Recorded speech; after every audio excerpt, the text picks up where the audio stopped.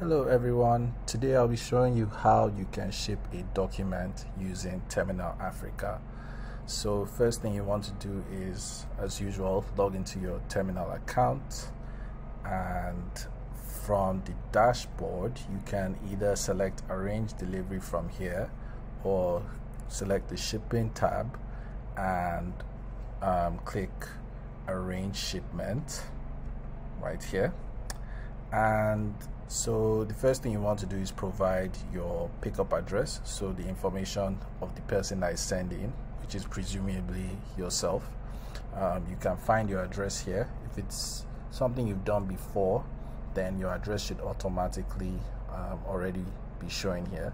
What you can do is just type in your address and it should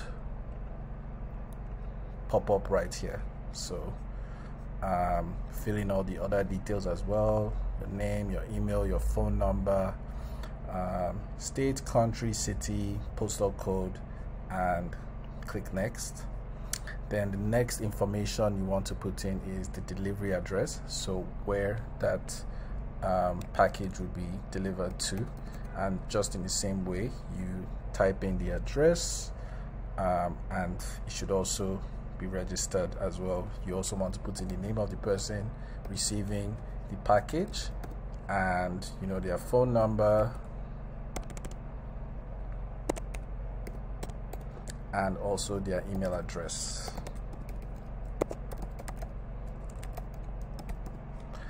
Once that's done, you can also proceed to the next step, which is now in, um, including the information about the item being shipped.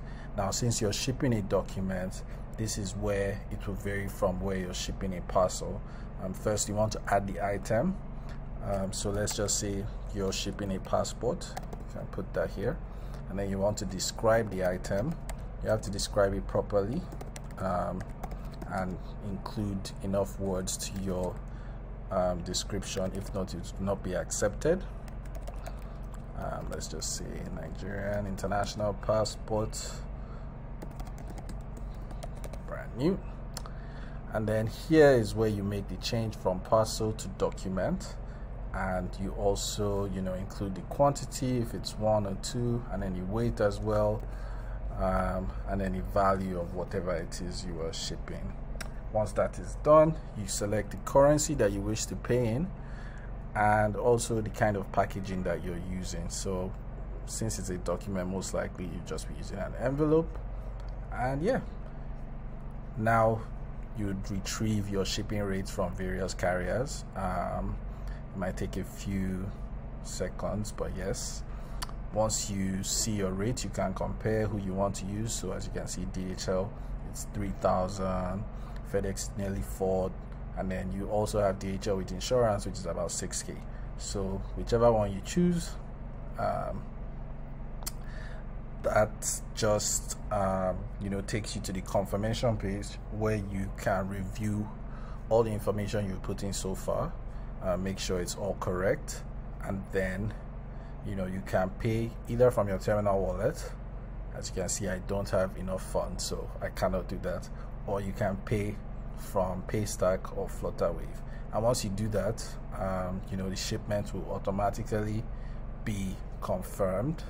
Um, I can show you a bit of how that would go. So you can enter your card number you can enter your bank you can use USSD um, and once you make this payment the shipment will be arranged and you know the courier will be on their way to you to pick up. So that's it